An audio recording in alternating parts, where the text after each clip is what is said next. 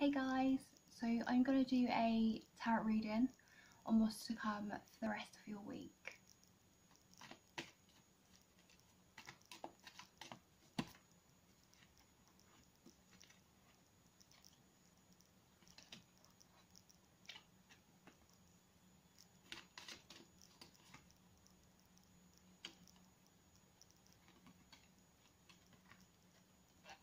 So the overall theme this week is the Knight of Wands and the Chariot, which is all about going towards something quite fast and it's something that's um, quite anticipated.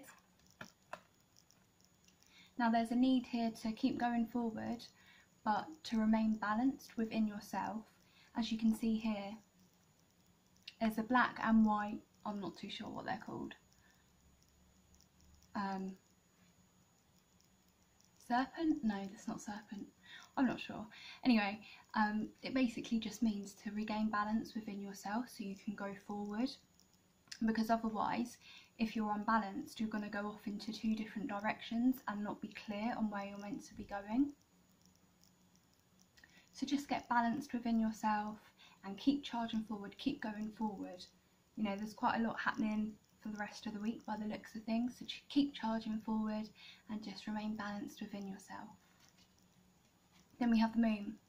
So there may be thoughts and feelings going on that you're not quite understanding. There might be a secret coming out. Um, basically, there's going to be a light shined upon something and something's going to be revealed. Now this can pertain to our psyche and our emotions and like our shadow self, our you know aspects of ourselves that are hidden, that are coming to light. You might be feeling emotional, you might be feeling conflicted. If you're not already, then something might come up to kind of arise feelings of that.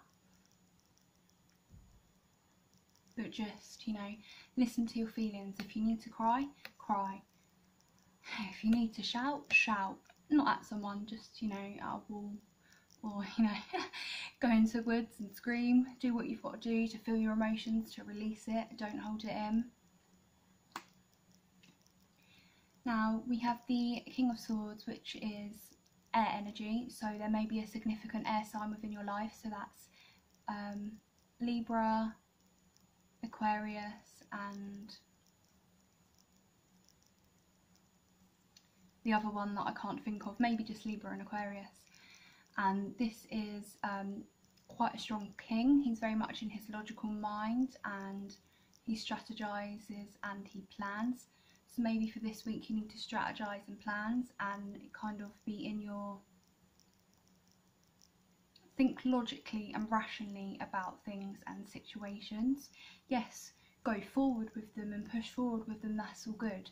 But have a plan, have a strategy, know what you're doing use logic don't just jump into things don't just rush into things without like thoroughly thinking them through.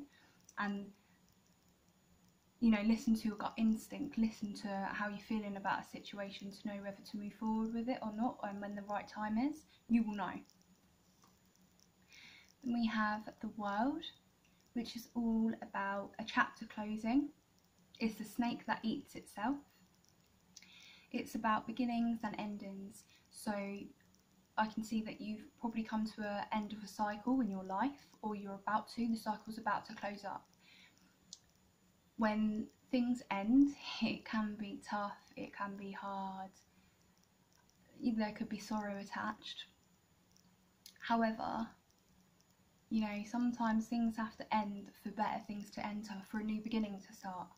So see this change, see this ending as a blessing. You may not be able to see it just yet, but there is definitely a blessing within this change that will, you know, become clear and apparent soon, soonish.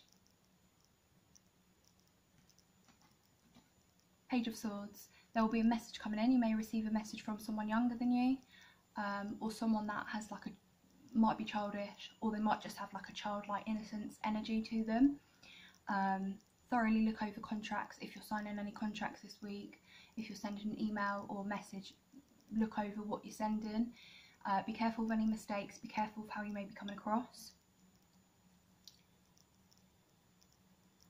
think before you speak.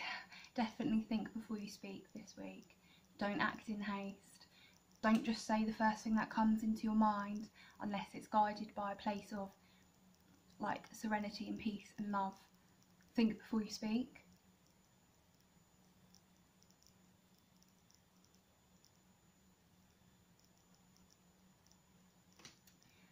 Then we have the Seven of Cups. So you may have many options at the moment. There might be a lot of balls up in the air. You might not know which decision to make and what to do. You know, if we look here, there's so many things in this cup. And it's like, he's got a snake in his cup. If he was to pick that one, it would be the wrong one. And you know, it could be a poisonous snake or if he was to pick the jewels here, oh, that would be, you know, fortunate.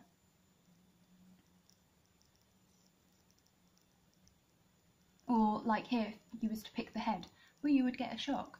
So it's just about you need to ground your thoughts and yourself into reality. Don't get run away. Don't run away with yourself. Don't run away with illusions and fantasies and excessive thoughts about situations and maybe obsessing over people or situate like obsessing over someone if you're doing that don't try and stay away from that just breathe just breathe just take some time out if you've got a lot of things going on if you you know you don't really understand what's going on in your psyche and around you maybe there's a lot of things going on internally so thus meaning there's going to be a lot going on externally.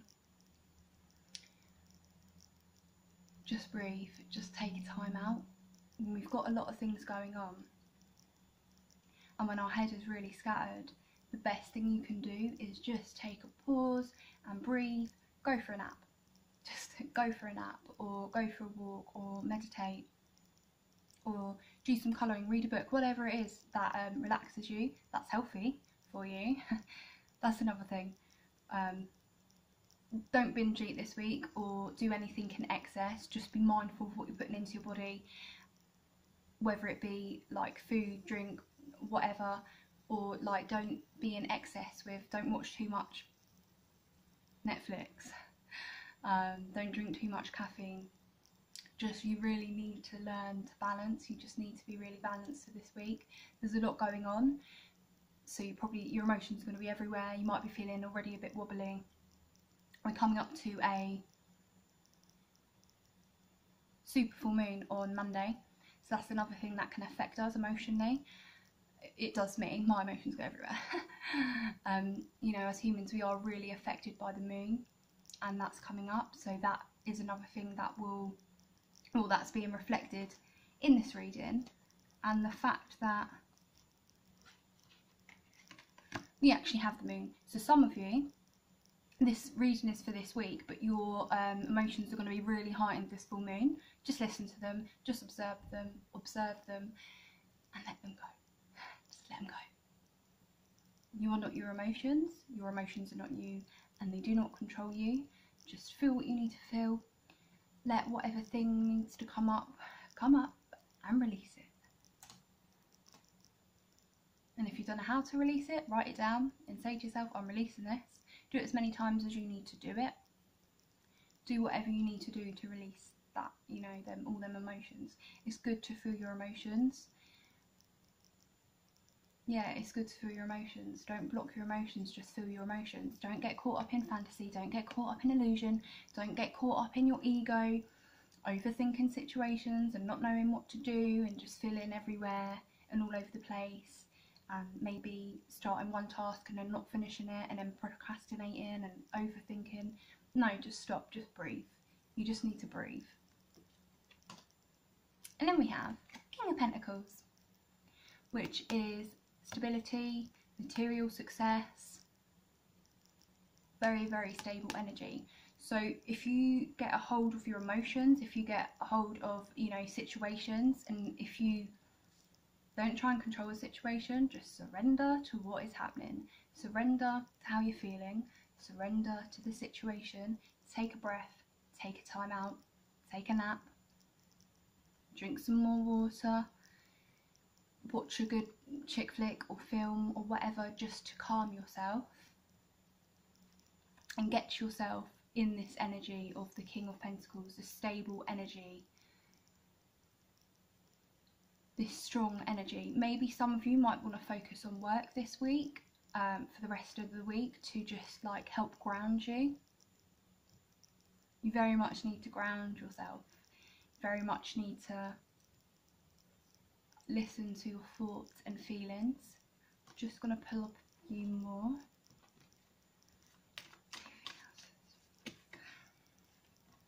nice, nice.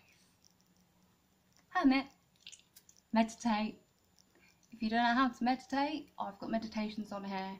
If you don't want to meditate, practice mindfulness, colour, or go outside or look out your window. Think of five things you can see, you can hear, you can smell, you can taste. Mm, maybe you can't taste anything, but yeah, five things you can see, you can hear, you can smell. Mindful. Yeah, hermit, look within. The answers you seek are within. Take this time out. If you need to be on your own, be on your own. Do the inner work that needs doing. If you need to heal, heal. The magician. You can manifest whatever you want. You can be this beautiful, amazing, positive human that can have the life they dream if you just believe in yourself. So, you know, go with him, calm your internal mind, calm your external situations, get out of your ego, get out of your fantasy and runaway thoughts. Walk away from situations that don't serve you, walk away from thoughts that don't serve you, get into the present moment, meditate, center yourself, believe in yourself, in your dreams and what you want to create, what you want to manifest. Some of you look into the law of attraction. If you already have an awareness of it, brilliant, keep going with it. If you've no clue, if it resonates with you, then look into that. Abraham Hicks, that's who I follow anyway with it. Really, really good.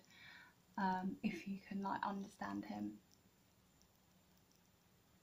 Yeah, you are the divine creator this week if you listen and heed this advice, if you listen to your own inner advice, you can be this magician, this powerful creator that's full of power and magnetism and goes after what they want, like the chariot. You know, there's a lot of yellow here, which signifies the um, solar plexus chakra, which is just, you can't see like here, just a little bit under, which is all where your personal power is stored.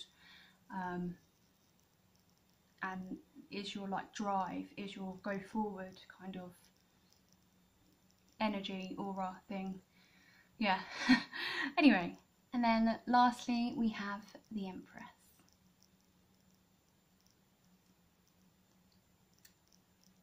Which is about stepping into your divine power, being creative, being nurturing. it's like the mother card. She is like the mother of all mothers. She's the empath, she's the healer, she's the one that everyone goes to with their issues, but she knows when to say no, she knows her boundaries. She knows when to say, no, enough is enough. She knows about self love. Honour yourself, honour your needs, honour the need within to love yourself. Work on self love, nurturing yourself, being creative, whatever creativity means for you, it can mean reading a book, creating a book, painting, acting, anything that's creative. I can't think, but yeah, anything that's creative will be really good for you this week. Um, to kind of like get a hold of your mind if you're having a few issues with stuff, do something creative.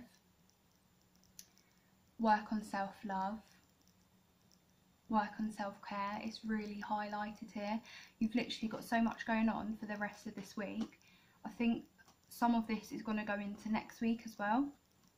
Obviously apply it to your situation and how it is. Yeah, I mean there's a lot happening, but it's a lot of good. So I will leave you with that guys. I hope you have a beautiful, lovely, blessed